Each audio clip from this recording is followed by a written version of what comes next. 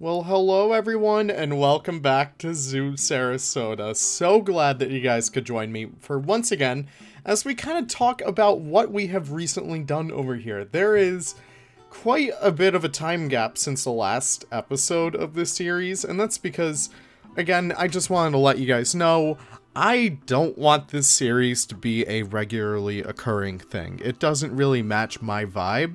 I want this to be kind of like my Thermashadi. I want this to be like my passion project that I work on in the background. My Orwell Zoo, my stuff like that.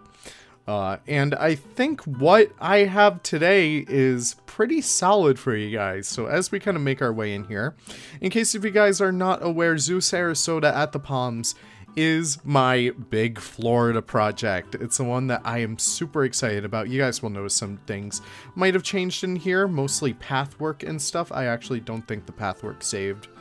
That's a little bit of a shame. Either way, but um, yeah, it's kind of like my passion project, my Florida project. In case if you guys are unaware, I go to Florida zoos kind of regularly. I have family down there, and I tend to visit them a lot. Excuse this. This is part of like an upcoming episode. But, um, yeah, I tend to visit them a lot, and I tend to visit the zoos down there a lot. Really, a whole lot of inspiration. Uh, so in the last two episodes, we kind of covered everything over here. Uh, I believe Carlos is working on like a whole new pack of like dinosaur skeletons, so I'm holding off on the Wings of Asia area uh, to work on those, but we could pop in here and just see what's happening. I still want to work on getting a Fly River Turtle mod out. It's not perfect for now, but I do want to work on that eventually. But we do have the Mekong Giant Catfish and Paroon Sharks in here. Both really incredible animals, and we also have one of the only birds in here so far, as it is supposed to be an aviary. The White Stork mod by Ginger. He actually just remastered it, uh, so that should be out relatively soon. But yeah, it's just a really, really beautiful habitat in here. But that's not what we're talking about today. We are going to pop over here. So I've been working a lot harder on the Florida section, and um, it's been going pretty good. Uh, so this is also something that will come in the next episode or so. Maybe not the next episode because I'm kind of tired of the Florida section. I kind of want to work on some primates next. So that might be what we work on. But Florida has been chugging along nicely. I still love this sign up here. I gotta do more banners like that. Uh, but I'll probably do a new banner with every additional kind of like section. So I gotta do one for the actual like aviary, but I'm not confident in like, you see how they have like the background in there? I'm not confident in the background for that just yet. So I'm gonna hold off on that. But I want to do that for every section. But the primates, which is probably going to be our next section, will be next. So keep your eyes out for that. Uh, here's just a few little signs I whipped up using, like, you know, the small billboards. I haven't actually put down anything just yet. This is probably going to be like a zoo event sign or something like that. Uh, so keep that in mind. My dog wants to get out. Oh, that's sad. Um, okay, yeah, hold on. I'm just to get us to, like, a comfortable position.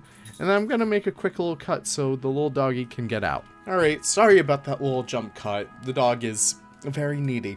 Um, but you might notice from this shot over here the roseate spoonbill, and you'll notice that our flamingos, which are right there, are not currently updated to 1.13. It's insane that we're on, like, update 13. I started modding in 1.4.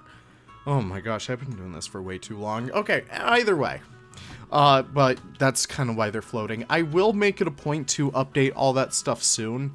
Uh, it's just I haven't had the time recently. I've been getting very busy. It's lucky I can even get videos out anymore. But, um, yeah, I just hope you guys enjoyed this shot. You could already see that there's so much stuff, like, so much new stuff happening back there. And we'll actually get there in just a little bit, but we're going to continue down this old pathway. This is always the stuff that I love to do in this series, I guess. Uh, it's just kind of going back where we originally were and checking out like all the stuff that we might have missed in the last episode and seeing if you guys can notice anything else that has changed. Uh, but yeah, this is just so gorgeous in here. I don't know. It's just so awesome to see all this stuff. Except for the flying flamingos. That is a little sad, but oh well, what can you do? Uh, continuing over here, this is kind of like the section we worked on on the last episode. So not really much has changed. We kind of still have like all the same signage. Like these are all like the beautiful pictures from like, you know, the Zoopedias and kind of like some from Reddit and stuff. I credit everyone who I kind of like stole some of the pictures from. Uh, so you can check out some of these really awesome people. Mostly modders because, you know, just why not? But that's really all we have over here, plus the little burrowing owls. I did team up with uh, Phonetic, so we should be able to get the Gopher Tortoise in here soon. Uh, he just needs to clean it up a little bit more, but we will have at least moving animals in here, so that'll be kind of fun. Uh, what's over here? Our skunks are still doing their little skunky thing. I love that little whatever you call it, the little egg carton, that's still one of my favorite pieces I've made for any exhibit. Also, this is just a pretty solid exhibit too. I'm always super happy with this one because it does such a great job with such a little space, especially for a skunk, which is an animal that don't really get too big spaces in zoos. I know at least at Zoo Tampa they have a relatively large area, but they share that with um with like sandhill cranes, I think. So giving these guys the opportunity to have their own little habitat is really fun. And like just working a lot more with smaller details is so rewarding, especially when you see like all the tiny little things that happens in here, like the little trowel right over there, like the little turned over pot. Uh, you have the little enrichment thing right there. I just really love that stuff. It's great. But you can move down here, schmoozy on down, and we could actually start to see our next habitat right there. I also love this little part.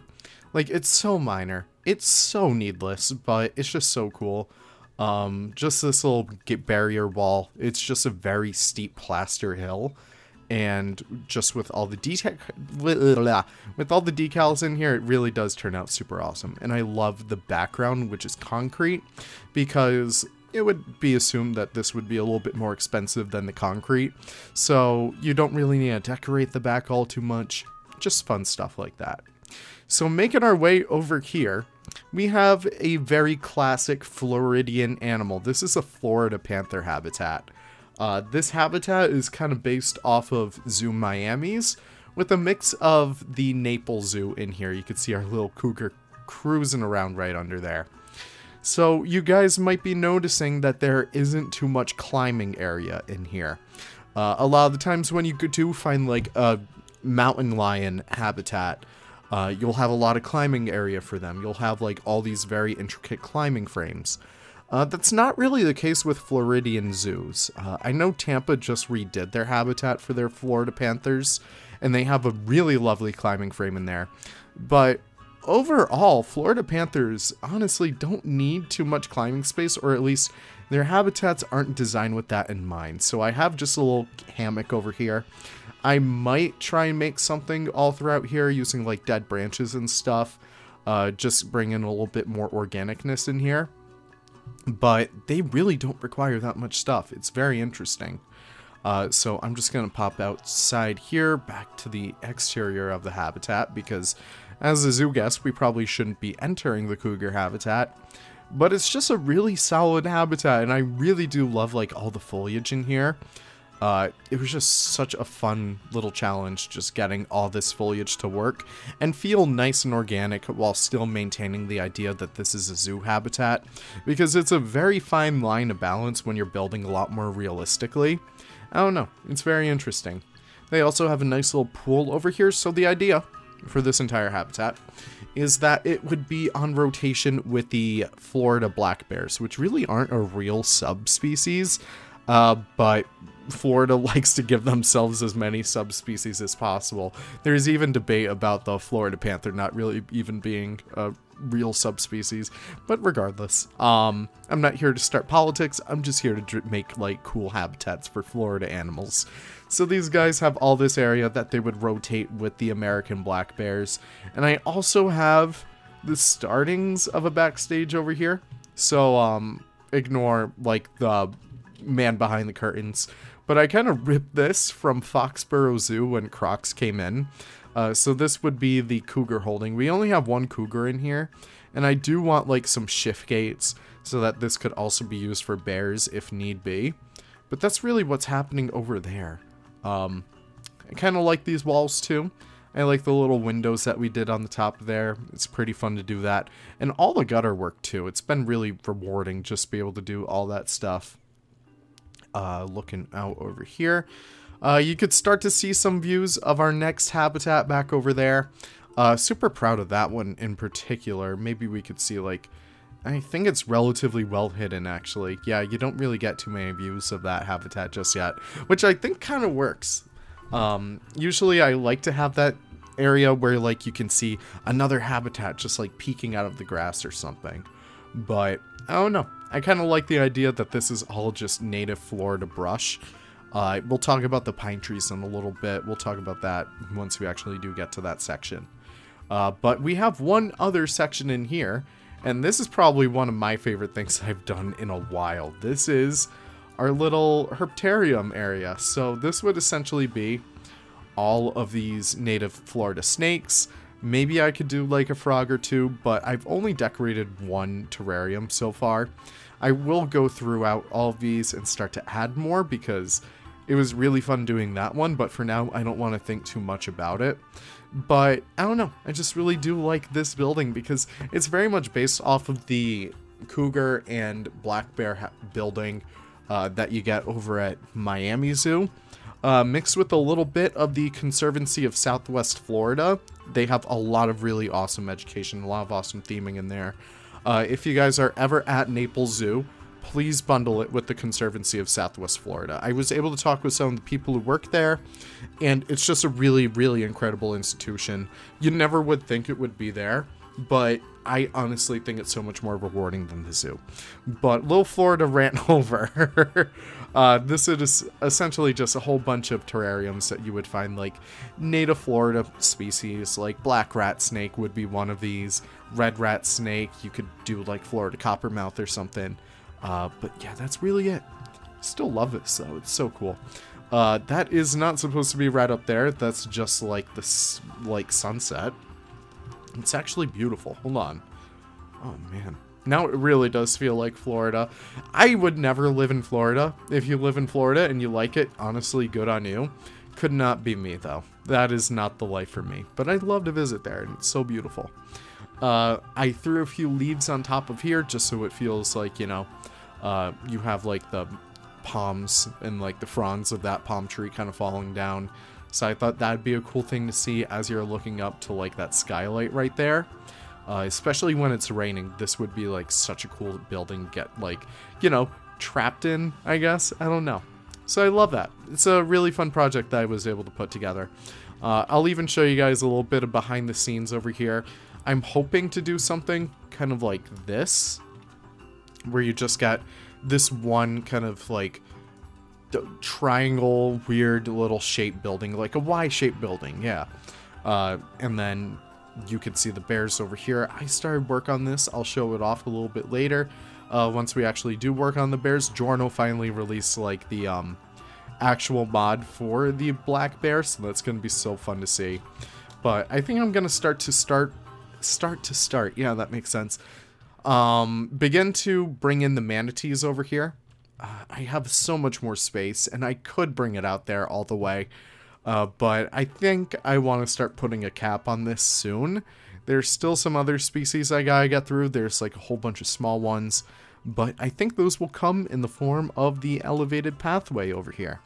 So ideally, you would walk through like the whole Florida section and then you would end up over here. Uh, this is where we're going to continue the tour as we check out the next two animals on this little section.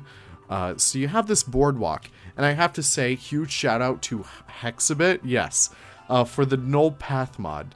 Uh, so you can see that if I do have elevated paths over here, if you look at them from below, you have all that schmutz in there. No one wants that schmutz. That is useless. That is garbage. Uh, these are fully functional paths that are completely null, that are elevated. So hopefully soon you can see some guests kind of like popping over here. I'll actually plop down a educator right here. So you could actually see that, yeah, they can actually use these pathways. And it's just so awesome. I just love this look over here. I think I got to start to add some like bins and trash cans up here because this is kind of like a, um, kind of like a boring elevated walkway. There's not much happening up here, so I gotta fix it up a little bit more. But here's our next habitat. Do let me know if you can see some of these guys. There's one right there. This is the red wolf habitat. Red wolves used to be native to much of eastern North America. Unfortunately, their population numbers have absolutely been decimated over the past few years or well, over the past many years, but recent conservation efforts, thanks to like so many awesome zoos. I know Zoo Tampa is kind of what I based this habitat off of, but there are a whole bunch of other zoos if you have them at your local zoo. They're doing a lot of really awesome work with the SSP. So it's just really, really cool just to be able to see this population makeup come back, really. Uh, but it's just one big, relatively large dirt pit. Uh, not really much else that these guys need. There's plenty of room for them to kind of explore. I have two males in here. Uh, I'm going to see what I can do in terms of lore to make that work. But that's what we're working with over here. Their holding is right back there. Uh, so we have a keeper door right there. This could open up. I really need to work on like the mechanics of that door. Not super happy with it, but that would just kind of shift up. That's the same building where the burrowing owls are, as well as the flamingos. So it's very much a multi-purpose kind of building. Very cool to see that. But I really do love this habitat. I'll bring us down in there in just a little bit, just to show off a little bit more of the finer details that you don't really get from above. But this part over here is very much based off of um, Zoo Miami. They have like this entire beautiful elevated pathway. And you get to see so many awesome creatures on it. And it's just so cool. But one of my favorite parts is like a little building where you can actually see bald eagles. Uh, these guys are made by Drac, I believe. They're just very old. Uh, I'm sure we'll get updated ones relatively soon. I apologize for like my netting skills throughout this habitat. They're not really, not really the best. Uh, but making custom aviaries is like one of the worst things to do. I would never tell my worst enemy to work on them because they are just very daunting to do. Not my best habitat. I still need to work on like a few different like holding areas for these birds but this is very standard for any bald eagle habitat. It's like 10 times better than Tampa's because Tampa just has like a grass pit and a few sticks for them, kind of like the same as Queen Zoo if you've ever been there. So, I don't know. It's not the best habitat, but I do love the verticality of it. I do love like the fake tree in the middle that's just bright white. Has like this cool effect juxtaposed with like the rest of the natural greenery. Just love that stuff. Uh, this would be like a little education area where you could come here, kind of like play with like skulls or something. I'm not sure. Watch some Dunkachino. Uh, but that's really it, my friends, for that one. Here's just another view of this wolf habitat. There's actually so much that I did. I was like so worried that this episode would not be enough for everyone. But looking at everything, we really, really covered a lot of ground. But here's just another view over here. Uh, hopefully we can get like the manatee pools in the background. That would be really awesome to see. Uh, but these are all custom fences. I believe there might be mods in here. I could be wrong. Uh, but I just have like the climb proof fences right over here just for, you know, climb proof sake. Not really sure if the red wolf could actually escape with a unclimb proof fence, but that would be very interesting to see. Here comes the path pack once again to save the day. Uh, I kind of replaced this main path with this beautiful herringbone texture. So it's kind of just like the basic, um, what do you call it? Yeah, it's like this one from base game. Where is it? I swear there was like a base game one. Yep, herringbone path. So it's kind of like this one, but just in white. It's so much nicer, so much brighter. I love that stuff. Uh, over here, you actually get the native section. So this is something that both Tampa and Miami have. Uh, they're really the main zoos of reference that I'm using for this entire park. Naples is getting a few reps in here too, but it's not really as much. Uh, Animal Kingdom, I just haven't been to Animal Kingdom in forever. I would love to go again, but unfortunately it's not in the budget. If you guys want me to see see me do some more Animal Kingdom stuff, you guys can fund my trip over there. but, um, no, we can actually look out on the Florida Rocklands over here. The Rocklands are probably my favorite biome of Florida because it's just so awesome coming from like the northeast to see such beautiful pine trees in like this gorgeous swampy atmosphere. It's just really awesome to see just beautiful coniferous trees like that. I don't know, I just really have fallen in love with this view over here because you have this native pollinator garden kind of ripped directly off of Miami Zoo. And yeah, it's just really, really fun just to be able to work with that. We have these lovely little mud bank walls. Uh, I made these all custom, and I just love like the nice organic curves that you get in them. It's just so cool to see that. One of my favorite things over here too is the fallen tree. Uh, this was made before the bark piece came out. Uh, I'm sorry I'm like stuttering over my words today. I don't know what's happening. But if you look up bark, these came in with the uh, tropical pack. Yeah, the tropical pack. Uh, and ideally, I would just sink these in and kind of do like some nice custom like bark pieces. But for the time being, that is way too much work for my tiny little brain. Uh, so I'm just to say Yep, these big pieces are fine by me. But yeah, I really do love this. Uh, Miami has something very much like this in like their otter slash American crocodile section. I'm hoping to replicate that too, it, with like, you know, my own little style on it. So that's to be super fun to do, but this is just such like a fun way to go. Um, I don't know, just looking up this area is so cool. Like looking down this area, it's not really the best.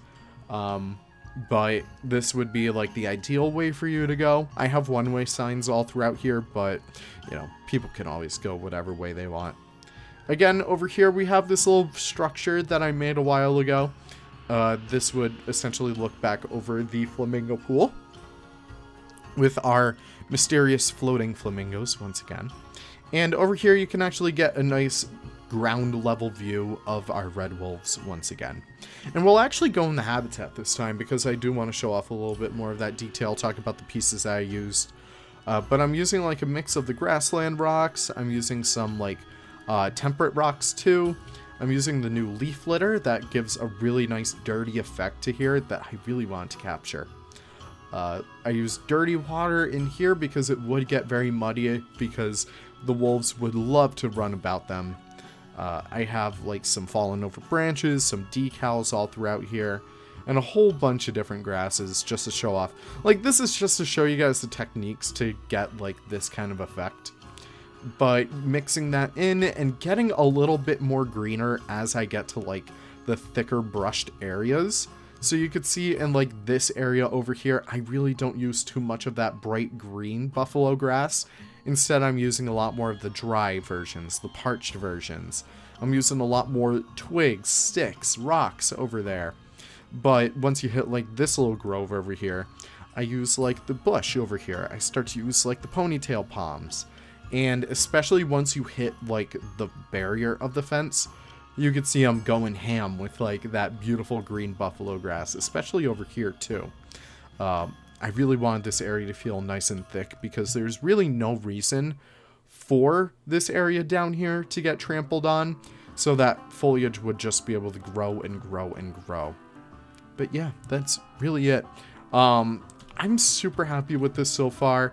Let me know what you guys want to see next because I could try and talk to, um, uh, who is it? Who is it? Carlos. I could try and talk to Carlos and be like, yo, you mind swinging me a few, like, dinosaurs? Uh, so I could continue on this section over here. What I really want to do, though, is start the primate section. And I'll probably do, like, one or two habitats for, like, the orangutan. I would love to bring in the gibbon, maybe the siamang. Definitely some modded ones, like the colobus and stuff. Uh, but I would essentially do that all throughout here. And as the path kind of continues, I would bring that to like the rest of the zoo. So I definitely want like my Australian section. I want like a nice big African section. Asia section would be kind of like a continued version of the aviary. But that is really it, my friends. That's like, it, oh my gosh, I can't believe like, you know, over a month's work kind of can be summarized in a 30 minute video, but thank you guys so much for watching. I really do appreciate it. I know so many of you guys were looking forward for this series coming back, and I really hope it paid off. Like, I hope you guys say, oh man, the wait was worth it, because it was so fun just to be able to put this all together. It's just such a fun, fun, fun, fun, fun build. I don't know. And it really helps me get connected with Florida again because I haven't been in quite some time. I'm going in a bit. That's exciting. I'm going to bring back all the inspiration I can. Uh, but yeah, just being able, being able to see all of our animals exploring over here. You'll see a little bit more of that in the cinematics after this. Um, but yeah, thank you guys so much for watching. I really do appreciate it. If you guys did enjoy it, share this video as much as you can. Be like, oh my gosh, check out what Leaf made. Wow, that's so cool. That's so crazy.